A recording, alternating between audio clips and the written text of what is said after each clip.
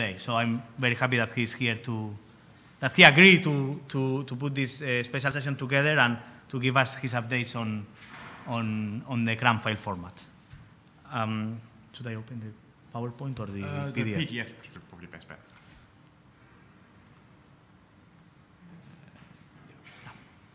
Okay, thank you. Okay, well, thank you, Mikel, for the uh, very kind words. Um, you've got a, I've got a lot to live up to after that introduction, so uh, yeah, thank you very much. So I'm going to talk today about um, CRAM. I'm going to start off really with a bit of background for, for what it is and how it looks like. Um, but the, the main meat of the talk would be the next two sections, which is lossless compression in CRAM and how we're proposing to improve on this, and our thoughts on how we can improve on lossy compression and what we can get away with discarding. So moving quickly on, so CRAM, it's, a, it's been adopted as a GA4GH standard. Um, it had quite a lot of initial uh, flurry of different versions and improved, but it's been pretty stable and static for a reasonable length of time now. And it's got multiple independent implementations in different languages. And we feel it's a reasonable trade-off. It, ha it, has a certain sweet spot of speed versus size versus granularity of random access. So why are we considering even changing it, um, given it's, you know, it's been in use uh, for a reasonable length of time? And I think it's probably fair to say that most of the large-scale genome centers are now using CRAM. If you're still using BAM, please, please don't. You'll see, see why later. Um, and the main reason we're thinking about changing it is simply the data has changed. So when CRAM was originally proposed, and I should point out it was, it was the original proposal was for the EBI. I came in much later. Um, Illumina, for example, then had 40 different discrete quality values, and they were quite hard to compress. There was, it, it was uh, the ideas we have now with modern data, so the, the, the Illumina machines and NovaSeq now produce only four quality values, and some of the things you can do we just didn't apply back then, so they weren't done. For example, with only four quality values, you don't need to store one per byte. You can put them in two bits at a time, so we get four per byte. Maybe do run length encoding, which works very well on the NovaSeq. It didn't work on the old data. And we can do these simple transforms before we then do the compression. And it has a surprisingly uh, significant improvement, but it just wasn't in the old one. And I think also our goals have changed. So um, we're more willing now to consider that perhaps this one size fits all of this is CRAM and it's just optimized for speed versus size versus random access. Maybe there is another thing we should op be optimizing for, which is long-term archival, where we spend more CPU time in order to get smaller files that we then deposit in, in EBI. And we're also more willing to accept um, lossy compression than we used to be. It used to be a bit of a bad word. Now, now I think we, we're, we're happy. And ideally, we'd like to do this without completely reinventing the wheel in order to try and get something which is easy to adopt with the existing software that's already out there. So to really explain what I mean by this, I first of all have to show you what a CRAM file is. It's simply a series of, series of containers bookmarked either end by a header and a footer.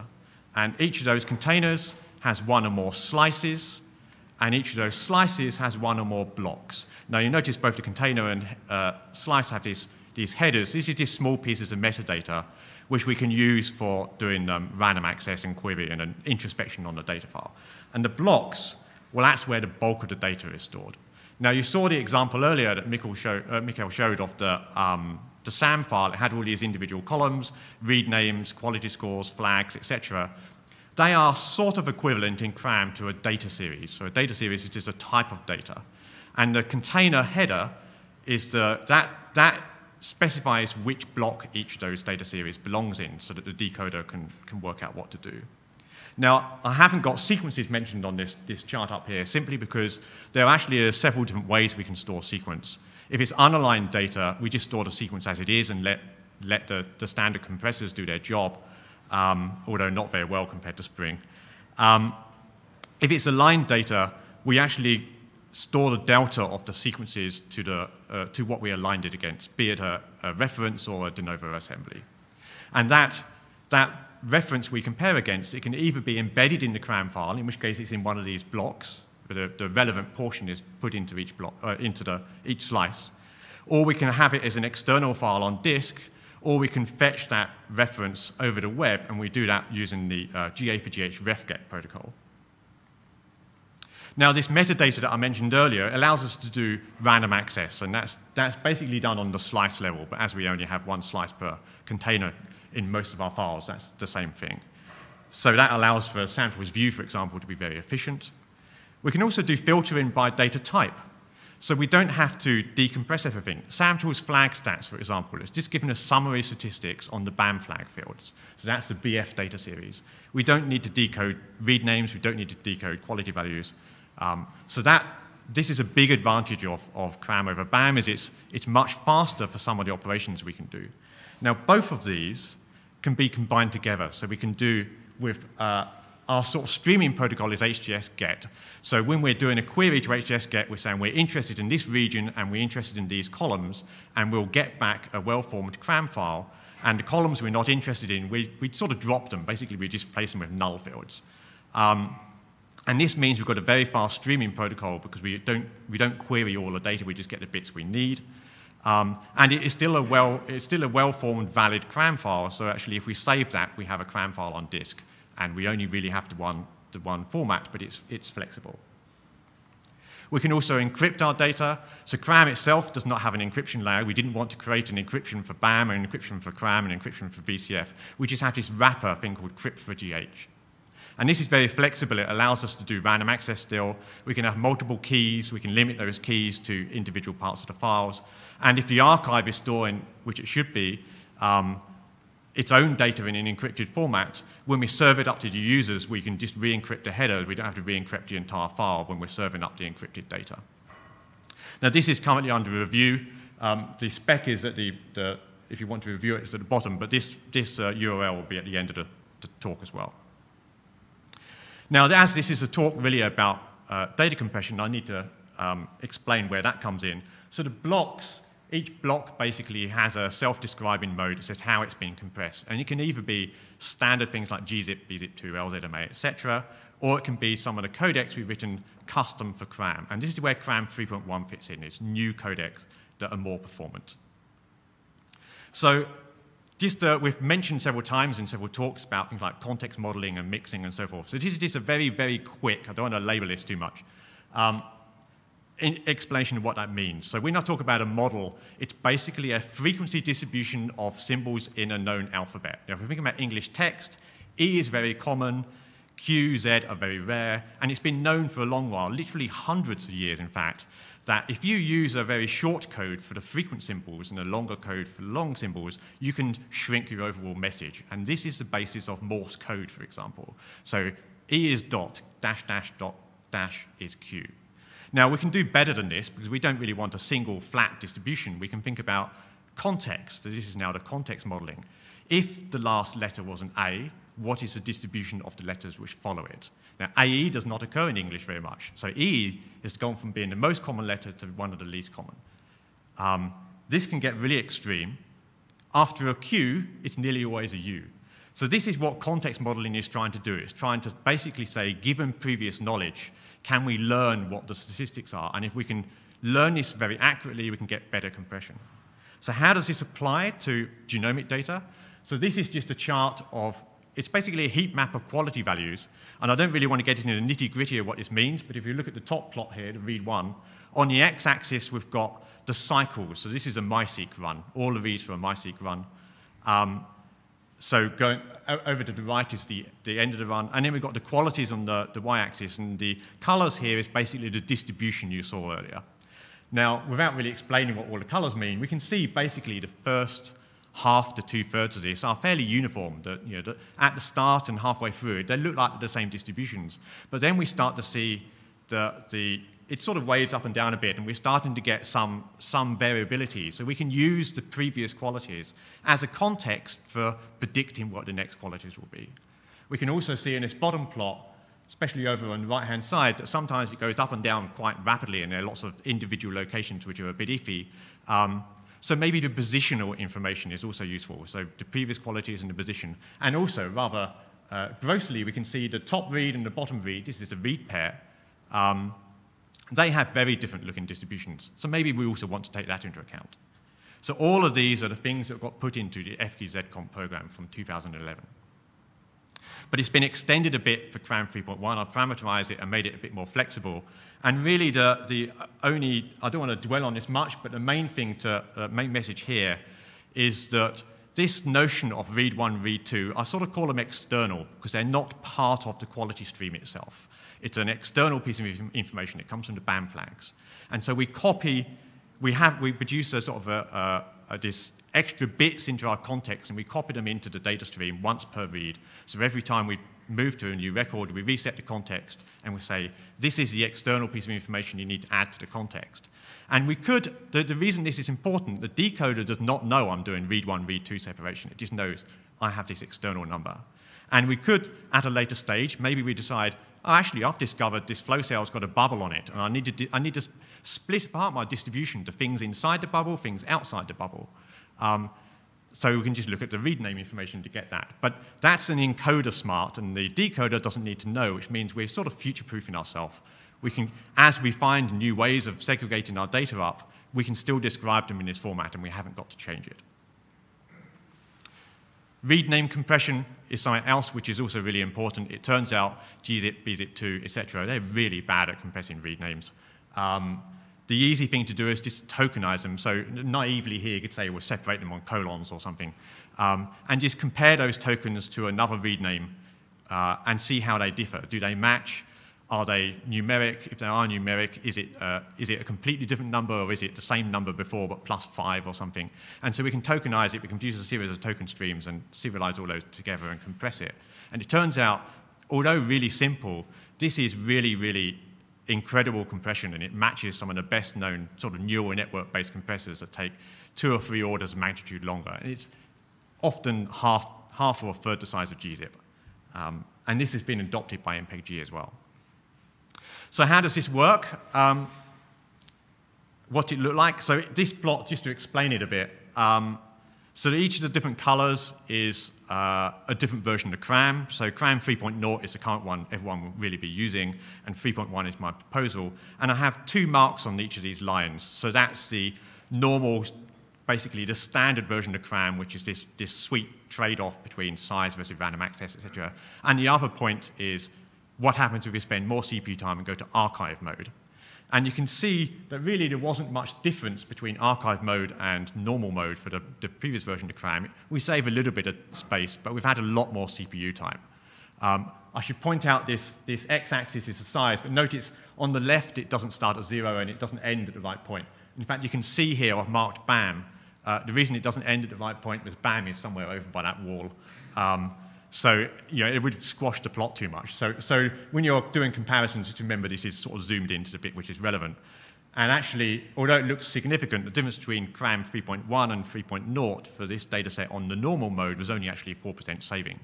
Um, when we use the slower modes, like this FQZ comp idea, actually it's an enormous saving we get on the, uh, the archive mode. And it's about overall a third less. Now, this was with old Illumina data with the 40 quality values what it looked like on NovaSeq. Um, it's a similar pattern, but it's a little bit different now. So even the normal mode of CRAM is 16% smaller than the normal mode of the previous CRAM. And that's entirely due to the thing I mentioned at the start, sort of bit packing and run length encoding and these simple transforms on the data, which didn't apply previously.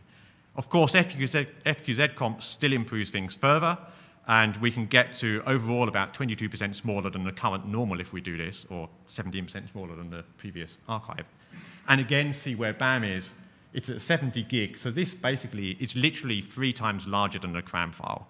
Um, we did some stats and we worked out that if you're storing your BAMs in AWS, one day of storage costs saving by converting it to CRAM offsets the money you spent in AWS to do the CPU, to do the conversion. Literally just one day.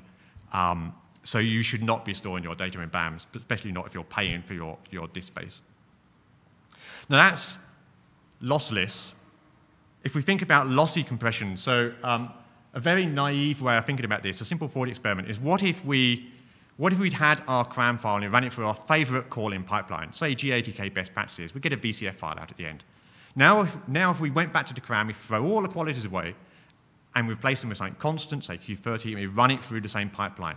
We now have two VCF files with and without qualities, and we can compare them where they match, so the same call with the same, roughly speaking, the same degree of accuracy, or neither of them give a call, they're both confident there's nothing there, we know qualities did not help us in making that call. so we can discard them. Everywhere else, we can keep them. So this is a thought experiment, tells us how we can discard qualities. Now, unfortunately, it's really expensive. We don't want to run through our variant calling pipelines twice, um, but we have a proxy for doing this. Now, I should note this big assumption at the bottom, this proxy is assuming a single diploid genome, so just bear that in mind. It's not ideal for somatic data.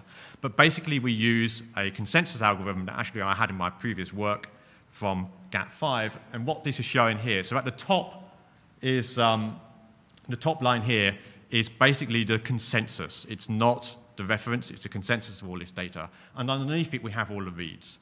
And blue here is marking where there is a uh, discrepancy to those reads. Now we can see down here where it marks deletion.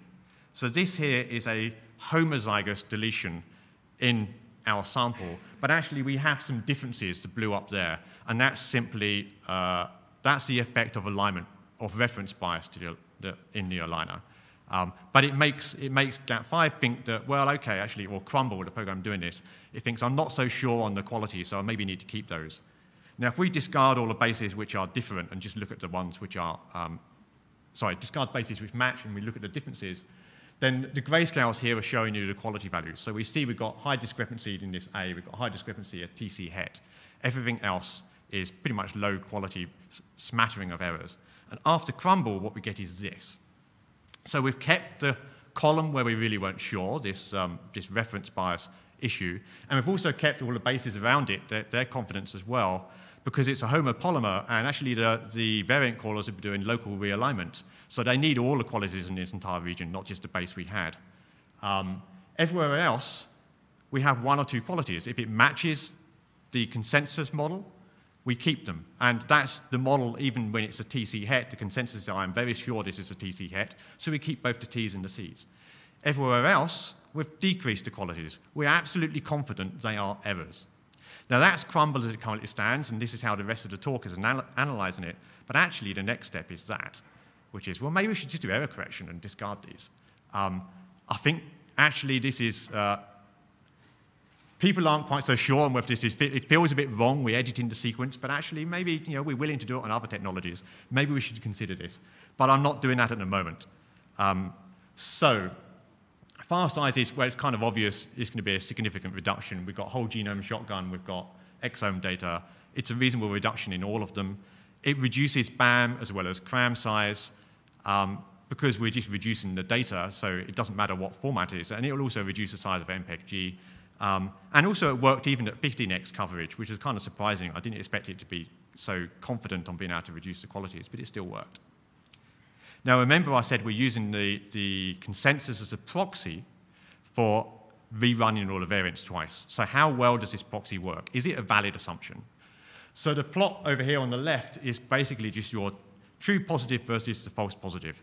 Um, where we want to be is in the top left-hand corner. So we've found every single variant, and we've made no, no errors, and had no extra ones which are incorrect. SNPs are pretty close to that. Great. We're really good at calling SNPs. Indels, well, they're reasonable. They're harder to do. Let's face it, indels are tricky. Um, but the interesting thing about this plot is I'm superimposed both the original and the lossy version with Crumble. And it's kind of hard to see how they differ, which is great. That's what we want to see, is that we do not actually harm our analysis by, by removing most of the quality values. More interesting is if we zoom up on those two areas, um, the SNPs, actually we've got closer. So the green lines here are the crumbled output. We're closer to this top left-hand corner, which is the ideal position. So as we saw with, uh, with um, was it Quartz or Keithy's head earlier, actually it improved the quality. It's kind of bizarre. None of us really know why this happens. It even happens on indels, and this even happens at 15x coverage, although not so much for indels. It's pretty much 50-50. But at SNPs, we're still, still improving. It's kind of one of the unknowns we don't understand. Now, it wasn't just me did the analysis. So DNAnexus independently did a, an evaluation of Crumble, and again, they found a similar file size. They were a bit more um, uh, sensible in testing more data sets. They looked at uh, NovaSeqs, and NovaSeq, there's less of a reduction, but that's because the quality is actually don't, they don't make up as a larger chunk of the file, so that's expected. They also did a far better job than I did, I have to admit, in analyzing the, the effect. They found that it um, it didn't well, it didn't really harm anything, and in fact, it improved results not only on GATK, but also FreeBayes and on Google DeepVariant, which is kind of bizarre, but at least it's been val validated by someone else. So that's qualities. What do we got left?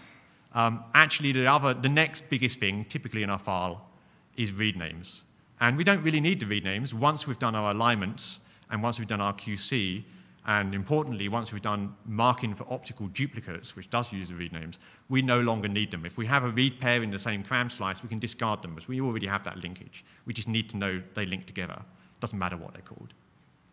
And also, the aligners, we all know the aligners love to produce a, a long list of auxiliary tags, you know, as long as your arm. Um, I'm sure it makes the authors really happy, but most people don't actually use those auxiliary tags. There's a few which are relevant and, and many which aren't. So we can give it a, a black list and a whitelist as what ones we want to keep. Now, data I did the analysis on was the SynDip dataset from the Broad. And if you haven't seen this as a truth set, it's thoroughly worth recommending. I'm not going to get into it here, but it was really, really important for doing the analysis. Um, now, a, a, breakdown on the compressed file. So red here is, um, this is just one chromosome, but red is the quality values. Uh, in this case, actually, the, the read names weren't the next biggest, the auxiliary tags were. Um, and then the sequences are yellow. So you see sequence is actually one of the smaller chunks of data, even though it's the most important. But um, this file had happened to have been through the GATK BQSR, this base quality recalibration scheme. And uh, this isn't part of the standard best practices anymore, but at the time, um, the original qualities got punted over to an auxiliary tag. So not only did we have qualities in the qual field, we had another copy of the qualities in somewhere else, which is completely mental, but there we are. Um, so what we did is we ran Crumble and we told it to remove the OQ tag as well as removing the qualities. And what we got left is this, so at the, the bottom. So you see this little sliver over here, that's how much we got left of the qualities. So we got rid of nearly all of them. There's a tiny little sliver of read names. In this particular bizarre case, there's a tiny little sliver of your auxiliary tags. And we've now got to under one gig for um, this entire chromosome. And I, I think roughly the entire 50x human would be around about 10 gig. So this is, uh, it's, a, it's a, pretty, a pretty substantial reduction, bearing in mind we're still able to call variants with the same degree of accuracy. Finally, I mentioned earlier about Crumble uh, about possibly we need to go one step further than just adjusting quality values. So if we remove the bases we know are incorrect, um, or at least we're confident, and I say confident, I haven't actually tested this yet, so I haven't done the evaluation. This was last minute uh, uh, experimentation. We save about another 20%. Now, CRAM, this was with CRAM uh, 3.0 actually, or actually 3.1 ARC as well. And you can see it actually, the difference now between 3.0 and 3.1 is not so significant, but that's because we've got actually uh, most of the quality values and the read names are now gone, which is where most of my gain was. But it is still a, a small gain. So finally, some acknowledgements. As I mentioned earlier, um, CRAM wasn't my idea. It came from the EBI. Um, Vadim was the, the main person who did the original implementation in Java, and it's on his work that I basically stand and have been improved. Um, and also various other uh, people from Sanger, where you can read this as much as I can. Um, and there's a bunch of links for uh, the various things. I should point out, htscodecs is basically where my new compression codecs are. So there's a standalone library, and you can look at them and see whether they're, they're useful for any other file format. Some of them may well be. And again, that uh, PDF, for, if you want to review the GA4GH, crypt for GH is there. Thank you for listening.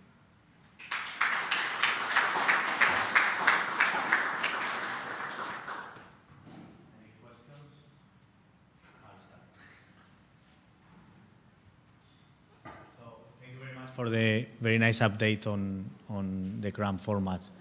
Uh, so regarding Crumble, which I'm very happy to see that, uh, I mean, I, as I mentioned before, I still remember like when you just mentioned lossy, people were like, no.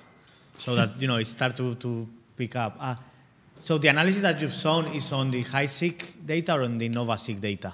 So the Crumble, so uh, I did my analysis on SynDip. The main problem I had was knowing I need, in order to evaluate what the effect is, you need to have a truth set. Yes. And actually, um, SynDip was the truth set I used because it was so much better at picking up the nasty problems. The problem, I mean, the, the problem is it's very easy to call easy variants, and it's really hard to Yes. call the nasty ones. And if we're doing lossy compression, it's the nasty stuff we really need to look at. Have we lost our ability to call variants accurately in those nasty regions? And it turns out the platinum genomes and genome in a bottle, they're good, but actually it's those nasty regions is the bits they filter out. Okay. And SynDip filtered out far less of those, to the extent where the variant callers produce 10 times error rate in those regions than they do the bits elsewhere. Um, so that's why I use, use crumbled air. But unfortunately, it was old data. Yes, okay. Um, now, I'm pleased to see that DNAnexus evaluated it, and they did their own data sets. I don't know which things they, they ran it on, but they had NovaSeq listed in their chart, so I'm assuming they also evaluated accuracy on NovaSeq. Okay. No, I, I'm curious to see because, like, at the beginning we started with lossy compression on the QVs because of the large alphabet, but uh, I think Shubham saw the like even when you reduce it to four values, it's still a big chunk. So it still makes sense Yeah. to do lossy. Some people are like, oh, we are already at four. We maybe not don't need lo- lossy, and you just saw that we really need lossy. I was just curious to see if there is a difference in gain between the 42 lossy when you apply to crumble or So this, this particularly. Okay. So you can see that it has reduced the size. Crumble has certainly had an effect, but it's probably Yeah, but it's similar to I, the gain is maybe? not as the gain is not as much as Okay. you would expect because Okay. the size of the quality Yes, values is yes, a much okay. smaller portion of the file, but it's still beneficial. okay. Yeah, yeah, of course. Okay, okay. Thank you. Any other questions?